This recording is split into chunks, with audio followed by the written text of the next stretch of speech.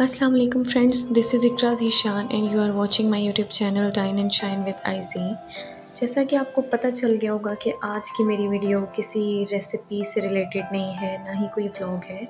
सो so, आज की मेरी वीडियो है हेयर केयर रूटीन के बारे में मेरी हेयर केयर रूटीन के बारे में। और स्पेशली उन लोगों के लिए ये बहुत हेल्पफुल होने वाली है जिन्होंने कैरेटन या एक्सटेंसो करवाया है और बाल बहुत ही रफ़ ड्राई डैमेज हो गए हैं। सो इस वीडियो को एंड तक ज़रूर देखिएगा। सो so, सबसे पहले ये है एक शैम्पू जिसका नाम है कैरेटिन क्लासिक ये बहुत ही ज़बरदस्त शैम्पू है और इस पर मैंशनड है कि ये सॉफ्ट स्लीक और स्ट्रेट हेयर्स के लिए है। इससे बाल स्ट्रेट होते हैं और बहुत ही शाइनी हो जाते हैं। प्लस मेरे पास है ये आर्गन ऑयल ये भी बहुत ही ज़्यादा ज़बरदस्त है बालों के लिए। तो मैं इनको यूज़ कैसे करती हूँ?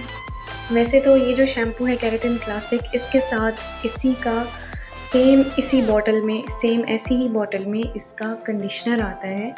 आप वो यूज़ कर सकते हैं, लेकिन अगर आपने एक्सटेंसो या कैरेटिन करवाया है तो फिर आप इसके कंडीशनर की बजाय आप यूज़ कर सकते हैं कोई हेयर मास्क हेयर मास्क इसके लिए ज़्यादा बेटर है, क्योंकि कहा जाता है कि एक्सटेंसो या कैरेटिन करवाने के बाद आप कंडीशनर नहीं यूज़ कर सकते।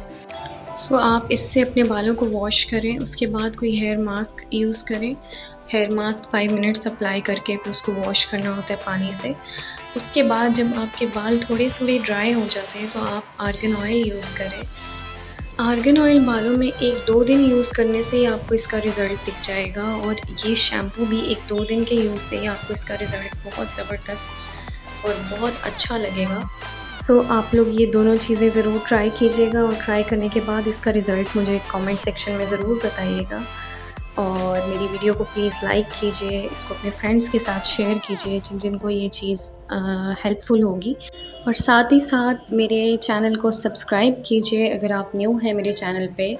और साथ लगे बेल आइकन को भी प्रेस कीजिए ताकि आपको मेरी हर आने वाली नई वीडियो की नोटिफिकेशन मिलती रहे। तो इन हाज़िर होंगी फिर किसी नई वीडियो के साथ। तब तक के लिए अल्लाह हाफिज़।